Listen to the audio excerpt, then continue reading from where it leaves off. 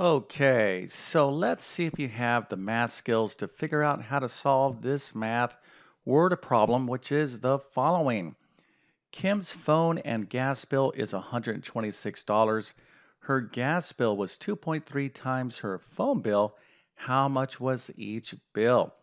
All right, so this is the problem. Feel free to use a calculator, but uh, if you have an answer, go ahead and put that into the comment section. I'm going to show you the correct answer in just one second. Then, of course, I'm going to solve this problem step by step. All right, now before I show you the answer, let's take uh, one more look at the problem. So Kim's phone and gas bill in total is $126. Her gas bill was 2.3 times her phone bill. So how much was each individual bill? All right, so let's take a look at the answer. The correct answer is the following. Her phone bill is approximately $38.18 and her gas bill is approximately $87.81. All right, now if you got this right, we definitely get a happy face and an A plus. And if you're like, uh, Mr. YouTube Math Man, how did you solve this problem? I know it seems easy, but I'm a bit confused. Well, this is not that difficult. Matter of fact, I'm going to be using a little bit of algebra to solve this problem. But uh, don't be afraid of this. Again, I'm going to uh, break it down step by step, and let's go ahead and get into it right now. All right, so the first step in solving any math problem is to make sure you actually understand the problem and the question. And a good way of doing that is to read a problem at least three times. Really go through all the information in the problem and uh, focus in on the specific question being asked. Okay, so once again, Kim's phone and gas bill is $126. Her gas bill is 2.3 times her phone bill. And the question here is how much was each individual bill? So to answer the question, we need to determine how much was her phone bill and how much was her gas bill. Okay, so once you understand a question, what you want to do is try to model or visualize what's going on. Because if you could do this, it's oftentimes very easy to see how to solve the problem. Okay, so this is the way that uh, I kind of look at the problem.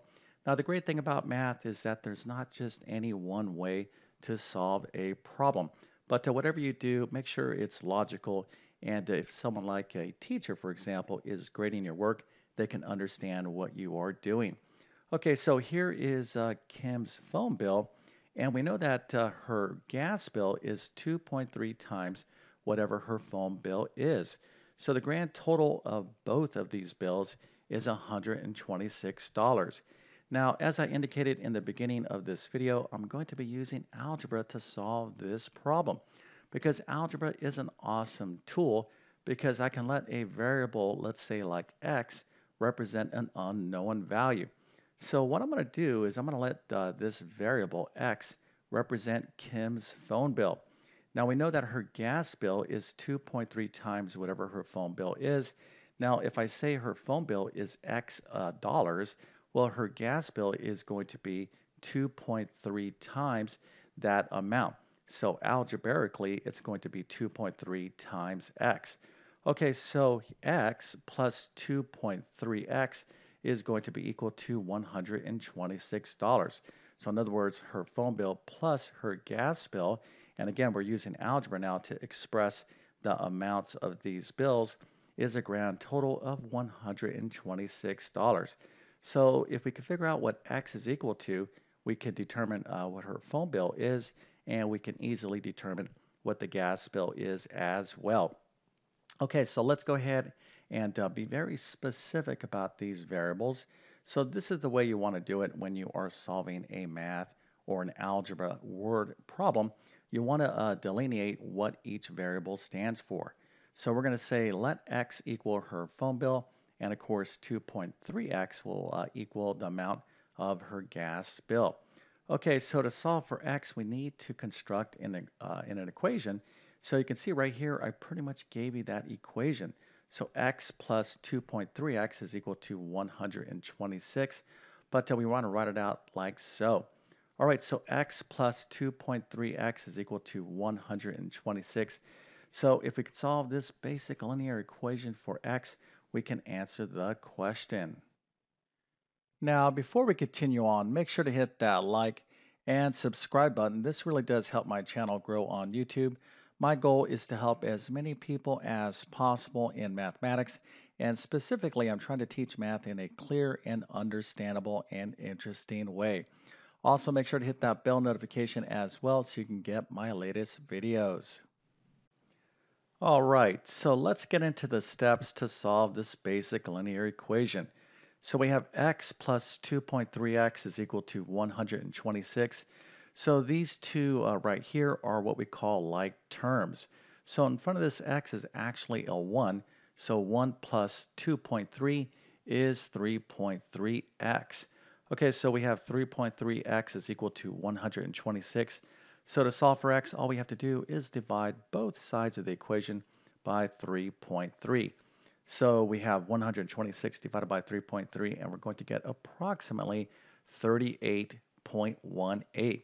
Okay, so this is what x is equal to, but uh, we're not done right here. Now, oftentimes, uh, a lot of students, a lot of algebra students will be all excited to be like, yes, yes, I solved the problem. And uh, they'll just kind of write down what x is equal to, and then they'll stop. Well, we can't stop until we answer the full question. And the full question is, how much was each bill?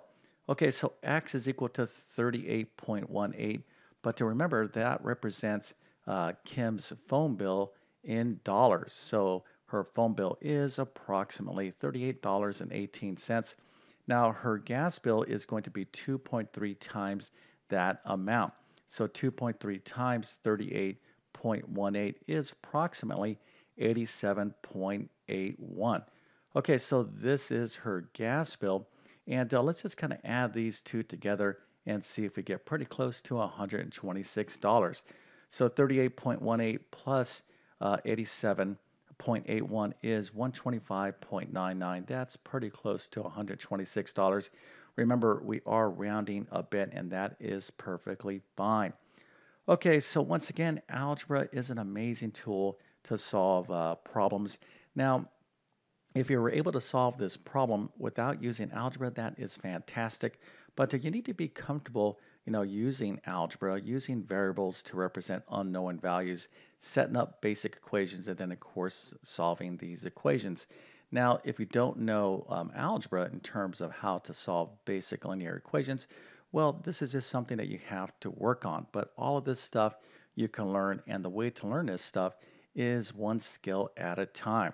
And then, of course, once you learn that skill, the only way to master it and retain it is to practice, practice, practice. Okay, so I hope this video helped you out. And if that's the case, don't forget to like and subscribe. Now, if you need additional help in algebra, check out these courses right here. So pre-algebra is uh, for those of you that are studying basic algebra. But uh, if you are further along in mathematics, then you may want to check out my Algebra 1 or Algebra 2 courses. Now, my Math Skills Rebuilder course is a review course. I cover basic math, algebra, and geometry in this course. I'm going to leave links to all these courses in the description of this video. All right, so with all that being said, I definitely wish you all the best in your math adventures. Thank you for your time and have a great day.